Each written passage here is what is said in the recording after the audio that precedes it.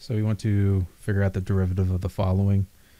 So what we'll do here is, this is the quotient rule, so y prime is going to be equal to uh, the d dx of the numerator times the denominator minus the numerator times the derivative of the denominator. Oh, oops, I made a mistake. That should be L, ln t, or natural log of t.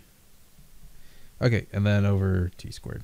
So what we end up with is um, 1 over x, or 1 over t times t minus natural log of t times 1 all over t squared.